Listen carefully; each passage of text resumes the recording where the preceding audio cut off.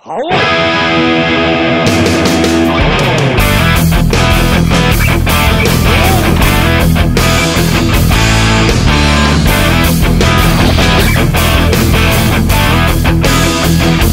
んにちは。ベレリンゲだよ。こんにちは。よろしくな。マリサだぜ。今日は初代ユーコの剣を紹介します。お、今日はユーコの剣か。ユーコの剣はアメリカの架空の街サウスタウンを舞台に両家ロバートを選択し、何者かにさらわれた妹の指を助け出すというストーリーです。キャラがでかくて衝撃的だったな。お前もな。ユーコの剣は、キャラのデカさもさることながら、超必殺技や気力ゲージ、挑発、ダッシュ、バックステップ、キャラ同士の掛け合い、画面の拡大縮小、脱衣 KO といった斬新なシステムを引っ提げて登場して当時話題になりました。なかなか斬新なシステムと必殺技だったな。あ、不利じゃないぞ。はおー。昇降剣。不利じゃないって言っただろうがん？斬新だったか？斬新じゃないわそれでは、ゆっくりしていってね。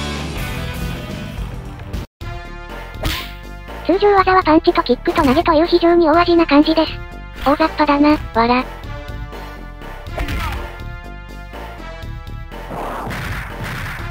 次に必殺技の紹介です。高王剣、月の大きい波動拳といった感じです。確かにめっちゃ好きでかいな。遅延疾風脚、水平飛び蹴りの後着地しながら上段回し蹴りを放つ。ただし、やはり隙が大きい。そうなんだな。残裂剣、百裂系の技かと思いきや、吸い込みタイプの技となっています。まさかの吸い込み。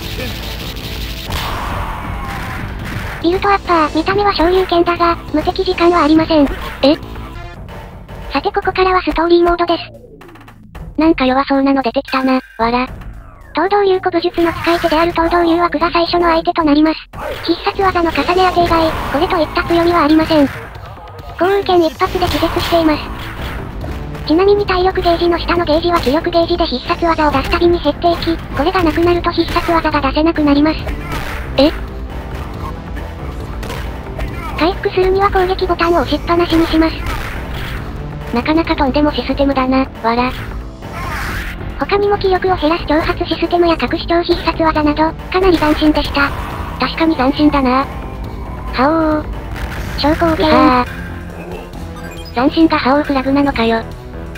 楽しかったか？楽しくないわ東道流白は、流子の剣最弱キャラということもあり、いろいろな技を試すのに最適なキャラとなります。さて、ちょっとわざとやられてみます。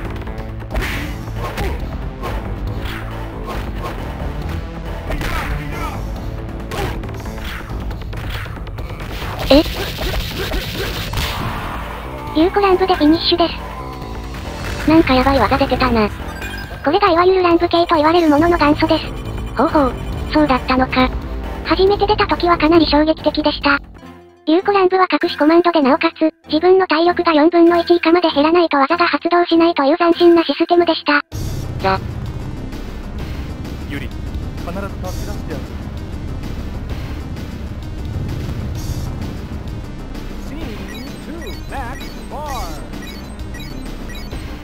ここからさらにストーリーを進めていきます。次の相手はジャック・ターナーです。12歳の時、襲いかかってきたサーカスのクマを返り討ちにした経験があるため、クマ殺しのマッスルデビル、と呼ばれています。必殺技はスーパードロップキックのように当たれば威力は大きいが隙の非常に大きい技が多い。なるほど。見た目通りだな。相手との距離によってズームイン、ズームアウトする仕様もとても斬新でした。ザ、ザン、はおー、昇降剣。斬新って言ってないじゃないかよ。ん？楽しかったか？楽しくないわー。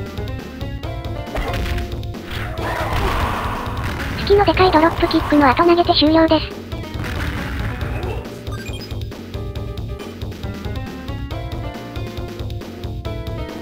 流子の剣は少し残念な部分もあるが、それを補ってあまりある魅力があり、格闘ゲームに革新的なシステムを多数導入したのも事実で、後の格闘ゲームに多大な影響を与えています。相手の挑発によって気力を減らされたため、攻撃ボタンを押しっぱなしにして気力を回復させます。ちなみにこの、挑発によってあまたのリアルファイトに発展したとかないとか。恐ろしいな。え？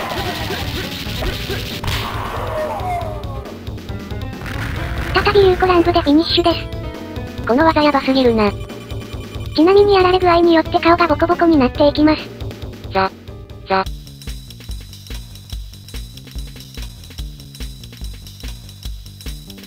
やっぱり居場所知らないパターンですね。なんてタフなやつだ。もっと技に磨きをかけなければ。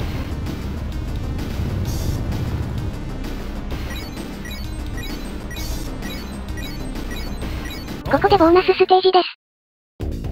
ユーコの剣では、ミニゲームをクリアしていくことでキャラを強化できるようになっています。今回は超必殺技にチャレンジです。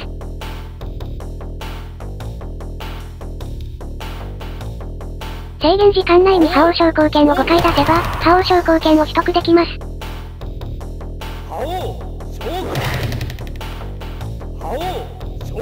当時はこのコマンドもかなり複雑な部類でした。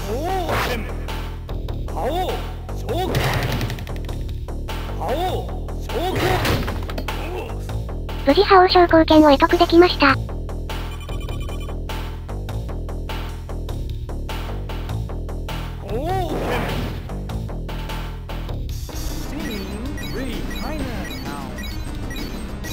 さて、チャイナタウンにやってきました。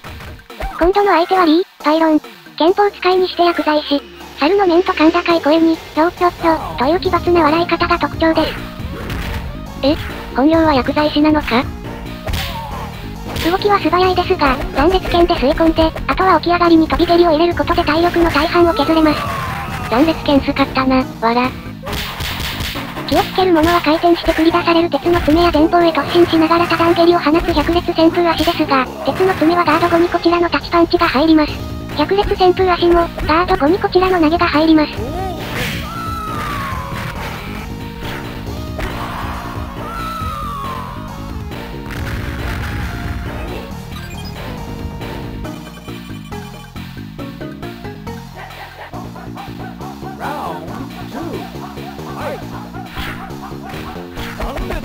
これが先ほど言っていた、断裂剣で吸い込んで、あとは起き上がりに飛び蹴りを入れる戦法ですね。めっちゃ減るね。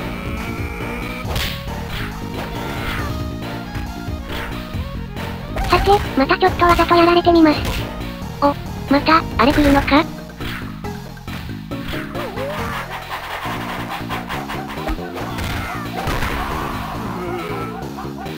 リュウコ乱舞失敗です。おいリュウコ乱舞のコマンドは自分の体力が4分の1以下で、波動拳 C、A と入力するわけだが、コツとしては波動拳を打つタイミングで C、A と入力するのではなく、波動拳を入れた後にワンテンポ置いて C わずかに遅れて A と入力すると出やすい。なるほどな。タイミングがシビアなんだな。意外と出にくいです。その代わりに絶大な威力を誇ります。感覚的な話をすれば、通常の降雨剣を打つタイミングで C を押すときより、0.1から0.2秒程度遅れて C を押し、ずらし押しの感覚で A を押すと出やすい。ほうほう。出るとめっちゃ気持ちいいもんな。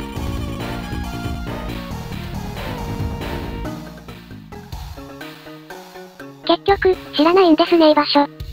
やっぱりな。こうなったら、街中に奴らをぶっ飛ばすでも探し出して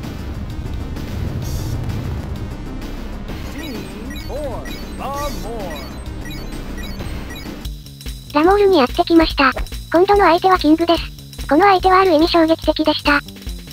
このキング、幼い頃にはすでに両親を失っているらしく、唯一の肉親である弟、ジャンを養いながら生きていくために、独学でムエタイを身につけ、ストリートファイトの世界に身を投じていた。なかなか壮絶な過去だな。その後ある人物にその実力を認められ、レストラン、が、モールの用心棒として雇われるようになった。ふむふむ。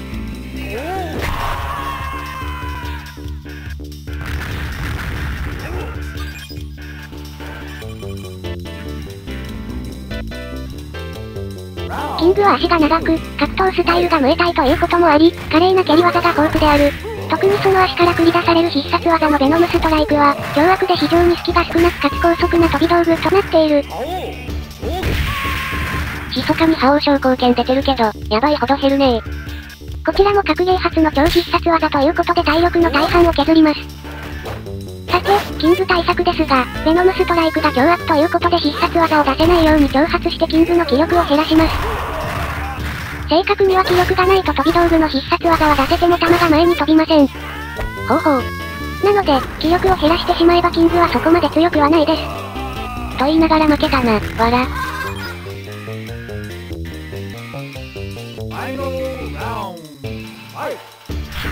さて、気を取り直してキングの気力を減らしていきます。めっちゃ蹴られてるやん、わら。ここから反撃です。やっぱり覇王昇降剣やばいほど減るな。ですね。ベノムストライク一応出ていますが、気力がないので弾は前に飛んでいません。なるほど。そういうことなんだな。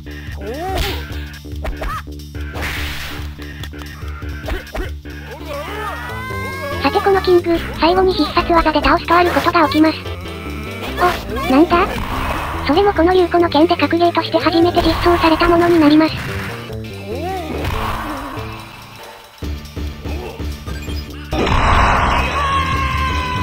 技で相手を倒すと、服が破れて下着があらわになる、脱衣 KO、となります。お、なかなか過激な演出だな。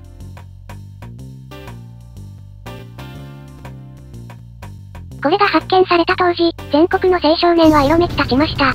キングを必殺技で倒すのは絶対だったのです。お、おう、なるほどな、わら。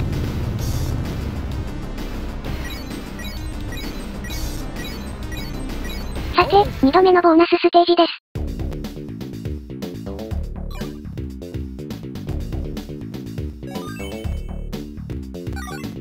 今度は標中割りにチャレンジして体力アップを目指します。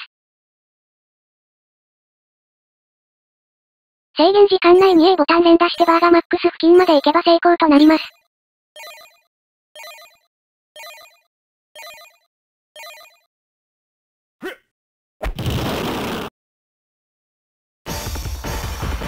見事チャレンジ成功です。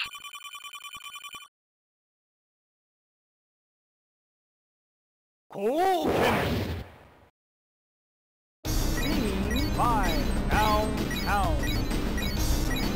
さて、ユリを探してダウンタウンまでやってきました。今度の相手はミッキーです。ミッキーは幼い頃から貧しい生活を送っており、力さえあれば困窮生活から抜け出せると考えた結果、アメリカンドリームを求めてボクシングに打ち込み、いつの日か世界チャンプになるという夢を抱いて訓練を積んでいた。なるほどな。それがなぜ誘拐に加担するようにまでなってしまったんだ？その後も鍛錬を続けていたが、コーチを名乗る男に大金を持ち逃げされてしまい、それでもその3年後にアマチュアボクシングを制覇するも、その夜にチンピラとトラブルを起こした末に相手を再起不能にしたことでプロへの道を断たれてしまう。さらっと言ったがなかなか壮絶な人生だな。さて、ミッキー戦だが、ここから難易度が一気に上がります。三角飛び等を駆使しないとなかなか勝てなくなっていきます。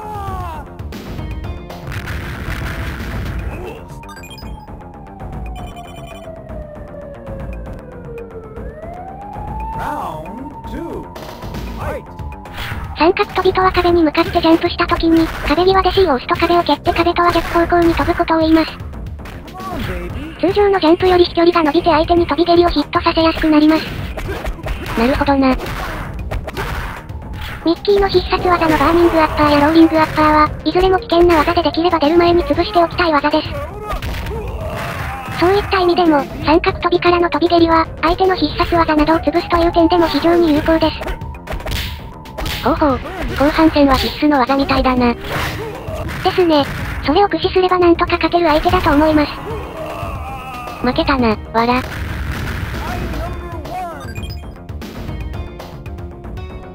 ミッキーは通常技も強く、なかなか一筋縄ではいかない相手です。ふむふむ。そのため、こちらは三角飛びからの飛び蹴りをヒットさせ、足払いにつなげるのが主な攻撃手段となります。ほうほう。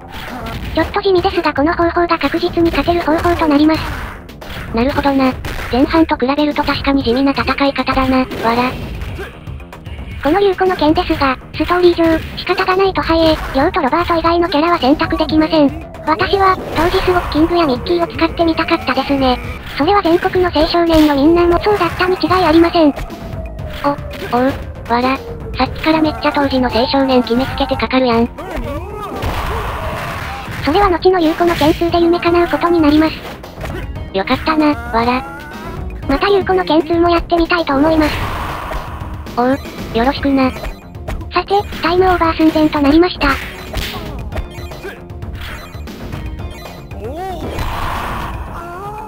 なんかミッキーのやられ方セクシーだな、わら。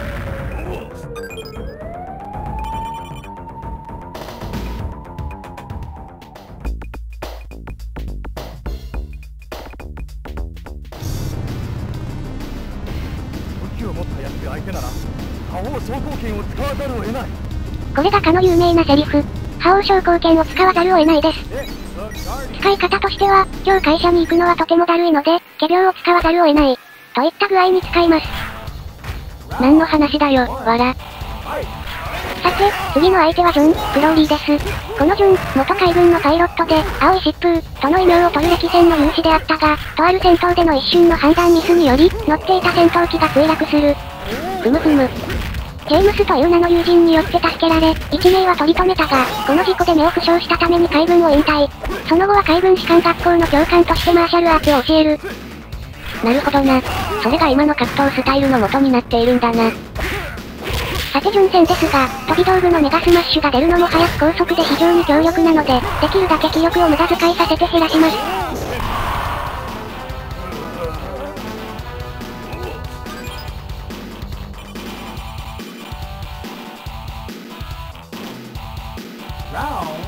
その後は、ミッキー戦のように三角飛びを狙っていきます。ほうほう。ジョンには、あと一つフライングアタックという非常に厄介な技があります。この技も三角飛びからのキックで潰すことができます。もしくは、ガード後の隙に投げることができます。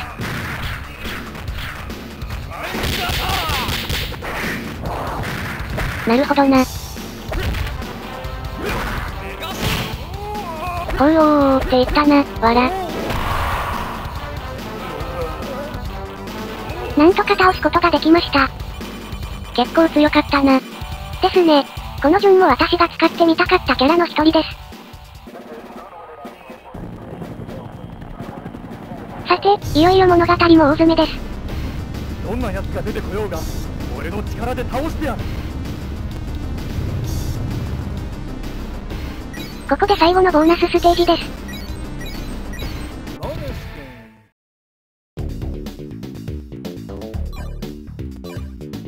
最後はビール瓶切りを選択します。動くバーにタイミングを合わせ、右端付近で止めることができたら成功となります。失敗したな、わら。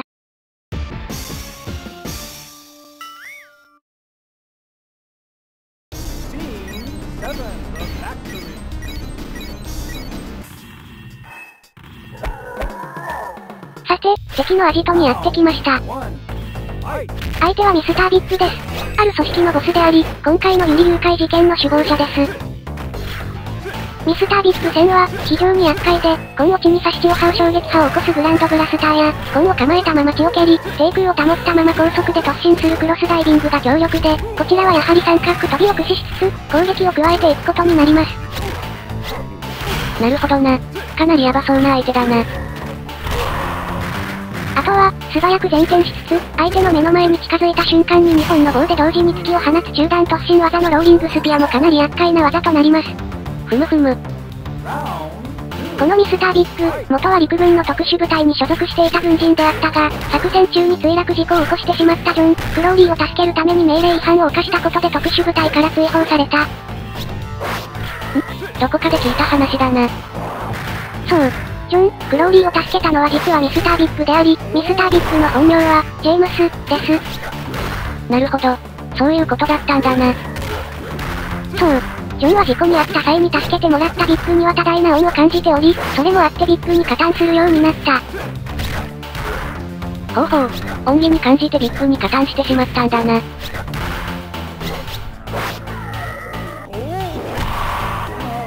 さて、なんとか1ラウンド取りました。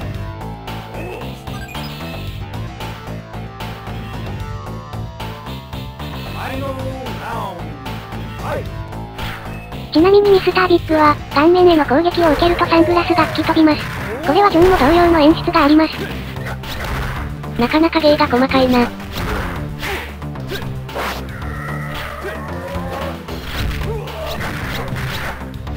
このビッグ、通常技の判定も非常に強くかなり苦労します。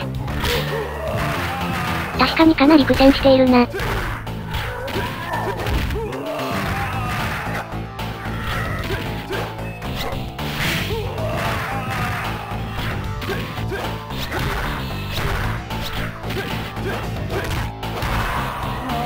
よし、倒しました。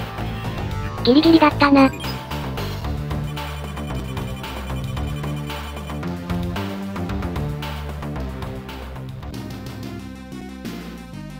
腐敗の格闘家？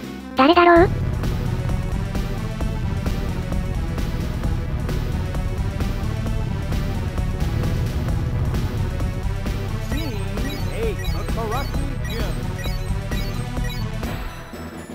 謎の空手道場にやってきました。最後の相手はミスター空手です。天狗の面をかぶっているのが最大の特徴で、ある理由により正体を隠すために面をつけている。ほうほう。このミスター空手、今までの相手とは別格で、スピード、技の威力が桁違いにヤバいです。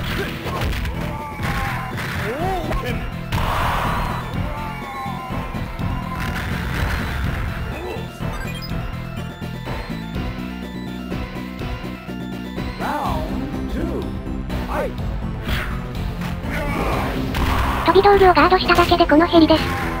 それは確かにヤバいな。戦い方としては、こちらがしゃがんでいるとミスターから手が飛んでくるので、タッチキックで落とします。その後、相手の起き上がりに飛び蹴りを重ねると高確率でヒットします。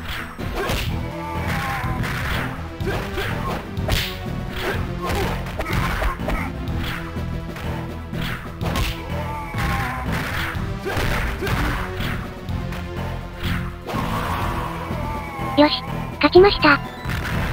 これでやっと謎が解けるな。